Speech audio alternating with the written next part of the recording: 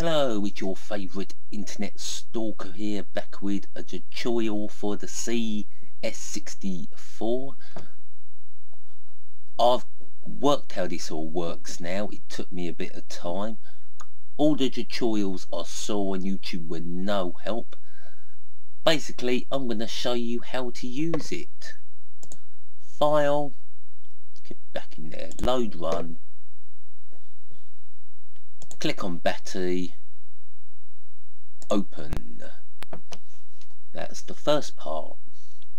Very easy. I mean this is a brilliant Commodore 64 emulator. You can play it full screen.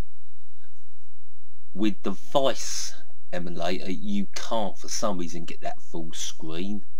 And it's a mission to get the fraps working with this the fraps works perfect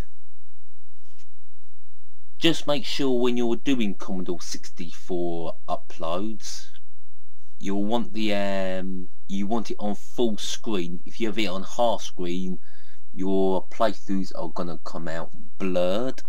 We go to start game. Enter.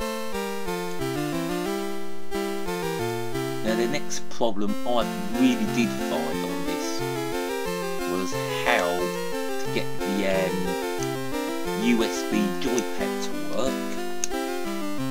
And it's pretty easy. I've worked it out. You can just go to input.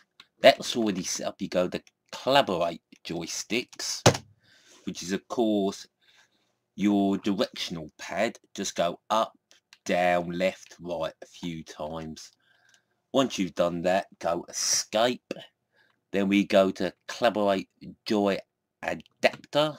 We press enter and we just hit the fire buttons a few times and get them working.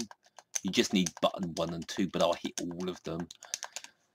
Once you've done that just hit escape and everything's working. Press fire. And let's quickly show you it all working. We can go left we can go right press fire. As you see, it all works very nicely. Easy to control. Brilliant emulator to use for your gaming playthroughs. And we'll leave it there. Go to file. Where is it? Ah, reset. Quick hard reset and there you go. One one Commodore 64 emulator working easily. That's so we want it on full screen. And that's how your games come out looking perfect. Well of course, I've been a Psycho Stalker and I hope this tutorial has helped you. And thank you very much for watching this video and goodbye.